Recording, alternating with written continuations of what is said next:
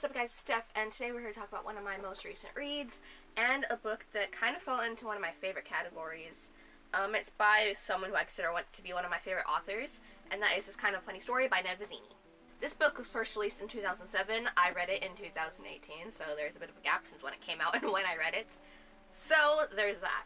This book was also writ written after Ned Vizzini spent five days in an adult psychiatric Methodist hospital in Park Slope, Brooklyn. And it gives you the dates of when he stayed and he also put in where when he wrote the book, which is under a month, pretty much right after he got out. He took a little bit, and then he wrote this book in less than a month, which is pretty crazy to think about. Much as the description says, for a novel about depression, it's kind of a funny story.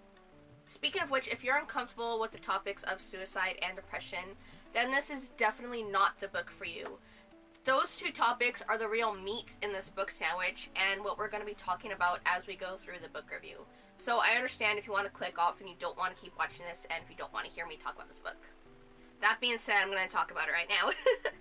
you had your chance to leave. This book follows our main character, Craig.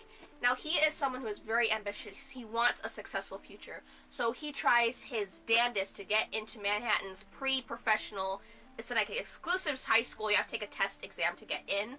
And so he studies day and night. Like his life is studying. He goes hard until he goes into this exam and he passes. And it's one of the happiest days of his life. But that's also where the downhill slopes begins. Craig very quickly realizes when he, once he gets to the school that he is not really above average to anyone of his classmates. He's actually just average, or possibly even below that. The stress of potentially losing a successful future begins to really weigh down on Craig. He stops eating and sleeping and feeling what he calls tentacles wrapping around him as his thoughts just keep circling in his head. It gets to the point where he considers ending it all. Thankfully, though, Craig seeks help. He is admitted to a mental hospital where he's remains for a short stay, and that is where the majority of the book takes place. Here, Craig doesn't feel the pressures from school or his friends. He's able to just sit down, take a minute, and really confront the face of his anxieties. Though this book is about a character dealing with depression and the downward spiral, it doesn't feel like a sad book at all. Craig is undergoing serious pressure from schoolwork and his friends, but his family is so supportive of him getting better. They support him going to therapy. They support his stay in this mental hospital so he he can try to get better. Like they're just so supportive and there for him. It it just felt so good. Everyone felt so supportive in this book. There wasn't really a major Debbie Downer in this book. There were a couple, but pretty much everyone was very supportive of you did a good thing by coming here. You did a good thing by calling the suicide prevention hotline. You did a very good thing just trying to, to find help. And I really, really loved that about this book. Another thing I want to talk about this book, I mentioned earlier, tentacles. What Craig calls tentacles wrapping around him and kind of just kind of restraining him. That is what he believes to he calls his anxieties these tentacles and these things that like really start the the circling and it really reminded me of turtles all the way down by john green when um Aza start, mentions her thought spirals just going down. It's very much similar to Craig's circles, where things it'll just start. If I do this, then it happens this, and then it happens this, and then it happens this, and like everything just keeps leading back into each other, and it's just a constant circle of oh my god, oh my god, oh my god, I'm gonna be a failure. I'm not gonna have a successful life. Things are gonna go to absolute hell from here, and they just keep going and going in this constant circle and I think a lot of people can relate to that when once you get something stuck in your head and it just keeps going and it keeps circling back to it and it's just mm, it it doesn't it you just get stuck there and it's hard to get yourself out of that. For Craig, he needs anchors to keep himself out of those thought circles.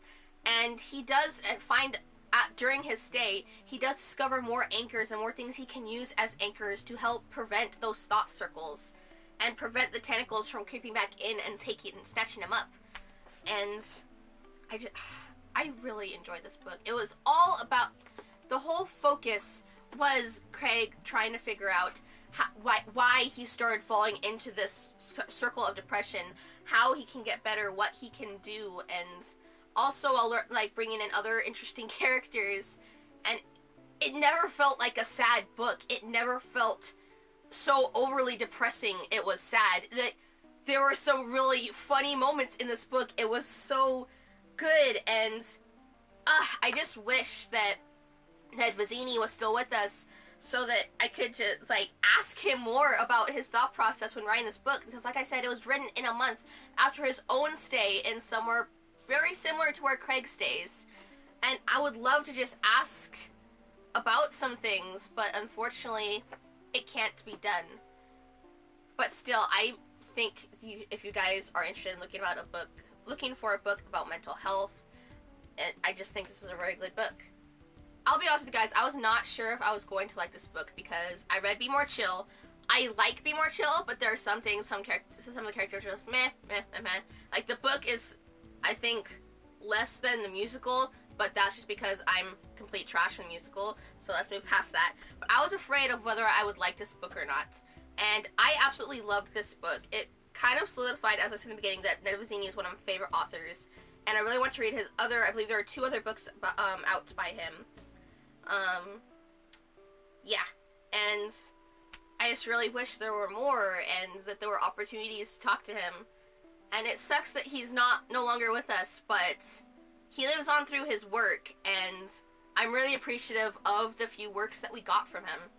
I think that's all I've got for you guys today. I hope you enjoyed this. I hope I was good enough at describing this book and what I liked.